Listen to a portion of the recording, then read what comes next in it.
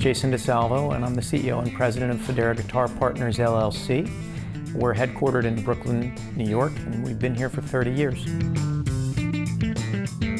The most important resource in any business, but particularly a business like this where you have very high level craftspeople, is human resources. Our instruments are almost entirely handmade, and you can't build them without very high level craftspeople. The term for what we do in terms of manufacturing guitars is lutherie. It's a very old world term, and it literally means a maker of lutes. A lute is a stringed instrument. And so the people building the guitars in the back of the shop, they are luthiers. Very high-end specialized woodworking skills as it relates to stringed instruments. It's an apprentice-based system. You might start sanding and you may do nothing but sanding for two or three years. You may be with us for five or six years before you get to do anything that approximates quote unquote lutherie. But that's the way it is. It's a trade as much as anything. And so bringing those people along ensures continuity in our business.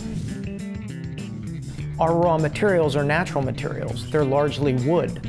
And we need to have our wood seasoned for a long period of time before we can build with it. So we have to be thinking ahead three, four, five years. What are we going to build not next week, but what are we going to build year two, three, four, and five so that we're procuring those materials now and putting them in a position to where we can use them when we need them. 50% of our work are completely custom instruments where every aspect, what woods, what scale length, how many strings, how many frets, are all determined by our customer. With that custom line of instruments, we can customize anything. Our customers are some of the finest electric bass guitar players in the world. Victor Wooten, Anthony Jackson, Oteil Burbridge, a lot of really high-end players. There's a certain ethos involved in the people that want to work with Fodera. They really are trying to achieve the very finest tone. They ask us to craft an instrument that will get that tone out of their head and into an amplifier.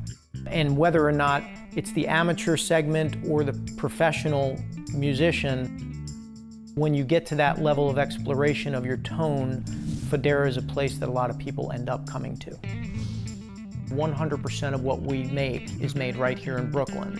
And we felt that that's what our customer wanted of us. Every single aspect of what we do, we put under scrutiny at every level through the process. We're trying to build perfect instruments, knowing full well that we're human beings that make mistakes every day. At the end of the day, setting the bar that high, that is one of the critical success factors. When you put the instrument in the customer's hand and they play it, you know from the first face he or she makes whether you hit the mark. You know, if they make that big grin, if they smile and, you know, they just light up, you know you hit the mark.